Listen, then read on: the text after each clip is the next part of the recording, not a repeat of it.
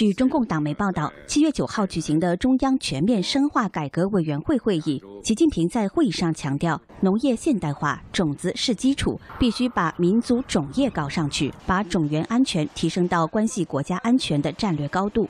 习近平还要求实现种业科技自立自强、种源自主可控，并承认中国的种业发展基础仍不牢固，粮食安全这根弦比过去任何时候都要绷得更紧。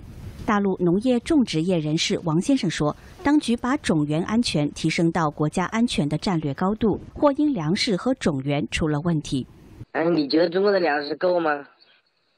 本来就不够嘛，因为这个百姓的生活水平提高以后，他对这个肉类的呃需求啊，肯定要增加。猪、羊、牛基本上都要吃饲料，饲料都是粮食加工而成。现在猪价跌了，粮价没跌。因为那个猪的承担承承担量大嘛，这是不是？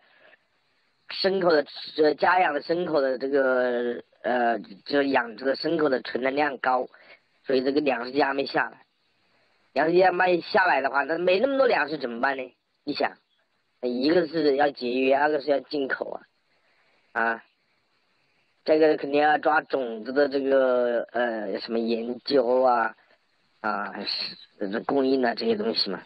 王先生说：“还有一点，美国的几大种子公司都进入中国市场了，当局也可能是要对他们动手。当局他现在是什么呢？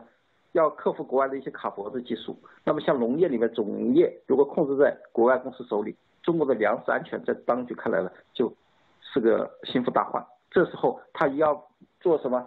科技自主，种业自主。大纪元专栏作家王鹤说：“解决种业问题，就一定要立足于国内科研。但中共体制已经溃烂了，整个科技企业的发展环境也已经腐烂了，所以这个问题他解决不了。”新唐人记者易如、李韵、李佩玲采访报道。